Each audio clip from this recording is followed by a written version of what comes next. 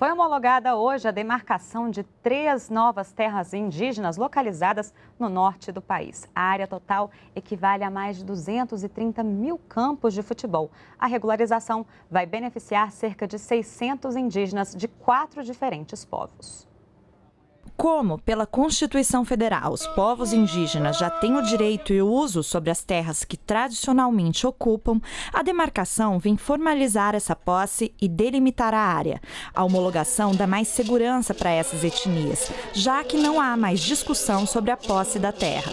O processo garante acesso a políticas de assentamento e retirada de invasores. Significa, portanto, estabilidade e segurança para que essas comunidades possam viver em paz e construir a sua estratégia de desenvolvimento, a preservação cultural, a preservação das suas atividades econômicas, das suas atividades produtivas.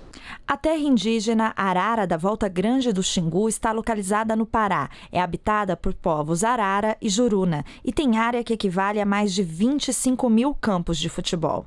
Nela serão beneficiados cerca de 300 indígenas. A terra Amapari fica no Amazonas e é habitada por índios Caixana. É a maior das três novas reservas, com área de mais de 157 mil campos de futebol. No local, 100 indígenas serão beneficiados.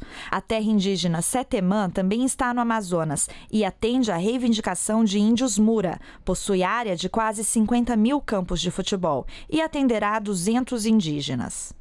O estudante de engenharia florestal Camudan, de Roraima, conta que a demarcação das terras do seu povo foi uma luta que levou 35 anos. Ele explica um pouco do que significa esse processo para os povos indígenas.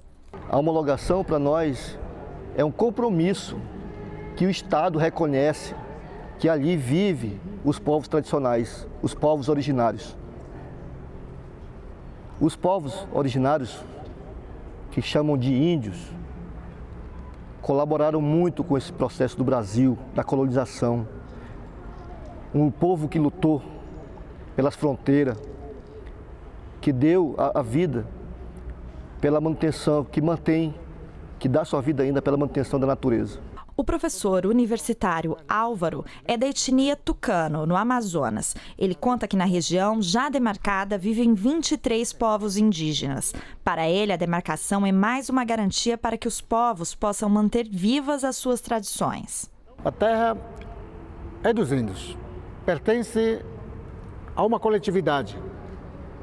Então, eles poderão manter suas tradições, línguas, fazer festas e preservar a cultura brasileira.